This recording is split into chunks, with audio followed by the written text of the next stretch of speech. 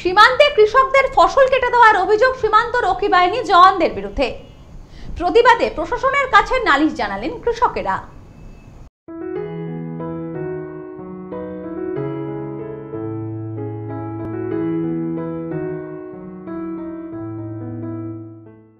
ভারত বাংলাদেশ সীমান্তে কৃষকদের জমির ফসল কেটে দেওয়ার অভিযোগ বিএসএফ এর বিরুদ্ধে। প্রতিবাদে প্রশাসনের কাছে নালিশ জানালেন কৃষকেরা।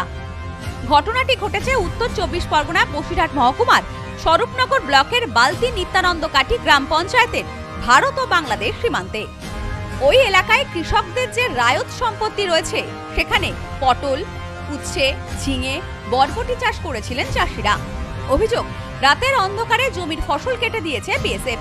সকালে উঠে কৃষকেরা দেখেন, বিঘার পর বিঘার জমির ফসল কাটা রয়েছে মাঠের মধ্যে। এমনকি ধানও কেটে ফেলা হয়েছে। মানে রাত্রিবেলা সব ভেঙে দিয়েছে আমি সাহেবকে বললাম, সাহেব সেখানে গেল, যাওয়ার পরে সাহেব বলল, এরম কাজ আর কোনো দিন করবে না।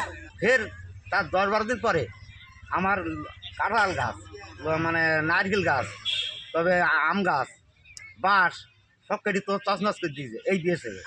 সাহেবের বললাম, সাহেব কোনো পড়া করল না। অন্য যে গেট আছে, সেই গেটে যেতে গেলে এক এক করে লাইন দিয়ে যেতে হবে গাছজুত মতো এন্ট্রি করবে তাদের গাছজুত মতো এন্ট্রি করবে। আমাদের লেট হয়ে যায়, আমাদের মাঠে কাজ করতে সমস্যা হয়ে যায়, দেরি হয়ে যায়।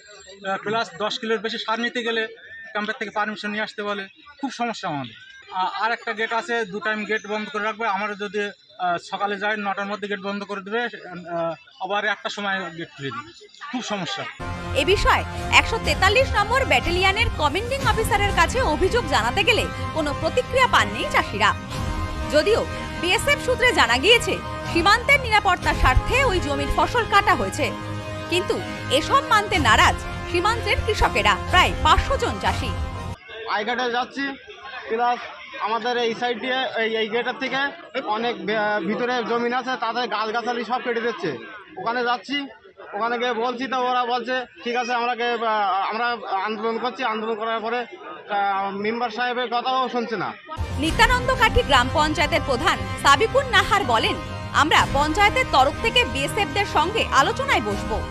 অন্যদিকে স্বরূপনগর থানায় এবং স্বরূপনগর বিডিওকে লিখিতভাবে এই ঘটনা জানাব। এর আগেও আমার কাছে কানে এসছে যে জিরো পয়েন্টের ধারে যাদের বাড়ি আছে তাদের প্রচুর জমি জিরো পয়েন্টের ওই সাইডে আছে সেই সমস্ত চাষিদের যেতে খুব অসুবিধা। প্লাস তাদের আমি এটাও শুনেছি যে বিএসএফরা তাদের ফসল ক্ষতি করছে এবং স্কুলের বাচ্চা যারা স্কুলে পড়াশোনা করে, তাদের একটু টাইম মেনটেন না করলে তাদেরকে খুব অসুবিধা করে। এই ক্ষেত্রে আমি মানে প্রশাসন দিক দিয়ে বলব যে, এটা করা তো ঠিক না। মানে এর একটা বিধি ব্যবস্থা না করলে হবে না। কৃষক মোস্তফা গাজী বলেন আমাদেরকে মাঠে গেলে সীমান্ত রক্ষী বাহিনী সবজি ফসল কেটে দেওয়া থেকে শুরু করে বিভিন্নভাবে হেনস্থা করে। এটা হচ্ছে এক কিলোমিটার চাষির জমি। সেই ফসলগুলো বাড়ি আনবে। কৃষি করে আনবে। বলছে, মাথায় কিনা সম্ভব? এগুলো সম্ভব না। আবেদন যে সিম গাছগুলো জিরো পয়েন্টের ভেতরে, তারে কাটার ভেতরে এই সাইডই, সেই সম্পত্তি সিম গাছগুলো কেটে দিয়েছে। জিরো পয়েন্টের বাইরে যা আছে, সে অত্যাচার করবে। ভেতরে কোনো আলাদ দিন যে গাছগুলো কেটেছে নীরবে কেটেছে। কেন?